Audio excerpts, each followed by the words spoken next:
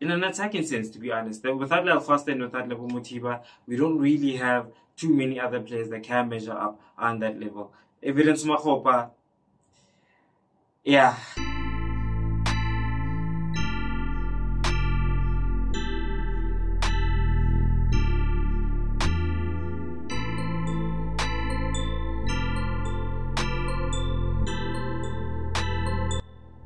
Hello everyone and welcome to today's episode of The Corner Flag and I'm your host again, Deshane and we will be talking AFCON of course today.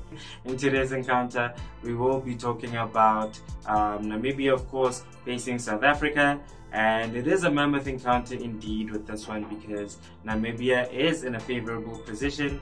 Um, I believe they are in second place um, after the first round of games, of course, winning their game against Tunisia and Bafana Bafana are in last position, of course, losing their game against Mali. So uh, Bafana have it all to play for, and it is still an open group depending on how today's results go.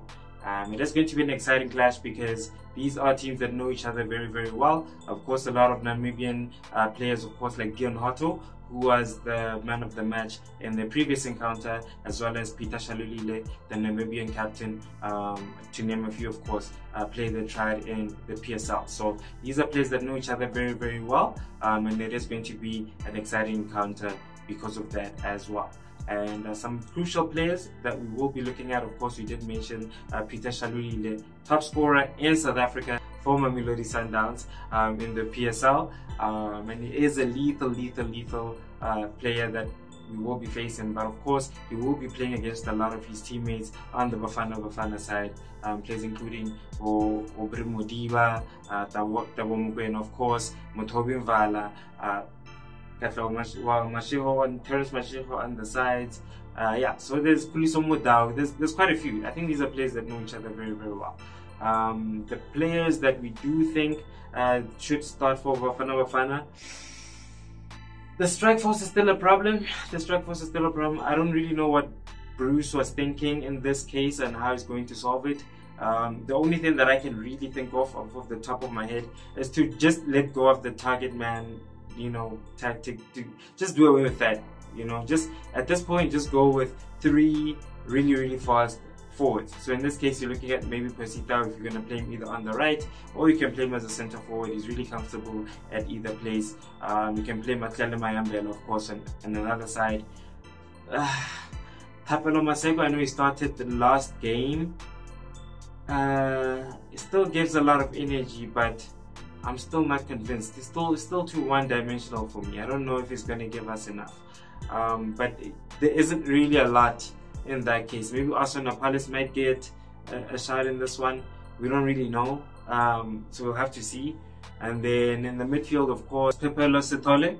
Uh, really, really good player. I think he can command the midfield if he really asserts himself in this game. Really, really good defensive midfielder, very physical as well. Um, but in the previous game, didn't really show too much of his qualities showed a lot of sideways passes. Um, it really would have been nice to see him get the game, advance the game forward by these passes, um, similar to what he gave uh, Lyle Foster in the game we had against Morocco for his assist. So it's really, really nice to have him uh, me, asserting himself, especially in that midfield. We really need somebody to uh, bust that midfield alongside Teboho Mokoena, who's also a fantastic player we did speak about the fact that he does also know uh, quite a few of the Namibia players because of the fact that they are in the PSL. Uh, very, very good player as well in the defensive midfield, holding role, links the defense and the attack well as well. Uh, it's really, really imperative that he and his midfield partner have a stellar game today and bust the midfield so that they are able to provide our forwards with as many chances as possible. As we did say, South Africa is lacking in an attacking in an attacking sense to be honest. Without Lyle Foster and without Lebo Mothiba, we don't really have too many other players that can measure up on that level.